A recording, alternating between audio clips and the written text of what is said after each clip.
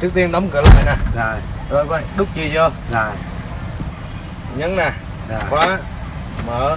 Rồi. Khóa mở. Rồi. On lock on lock on lock. Là anh thấy cái đèn nó sáng. Cái đèn Dạ. đèn đèn uh, xi nhan sáng là bắt đầu bấm này. Dạ. bấm móc là đèn sáng lần nữa là ok. Dạ. sau đó thắt chương trình. Rút ra. Dạ. đợi một- đợi 30 giây sau. Rút đó móc mới ăn. Ừ. à, anh coi móc chưa ăn nè đúng không? Rồi. Đó để nè phải 20 giây sau.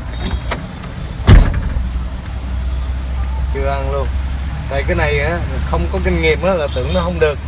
Nhưng mà thật ra lúc mình bấm on lock on lock ba lần á đèn nó sáng cái là bấm này một bấm một cái nữa đèn sáng á là mình biết là đã vô rồi. Giờ bấm ăn rồi nè. Đó khóa nè. Ừ. mở. Khóa. Đó.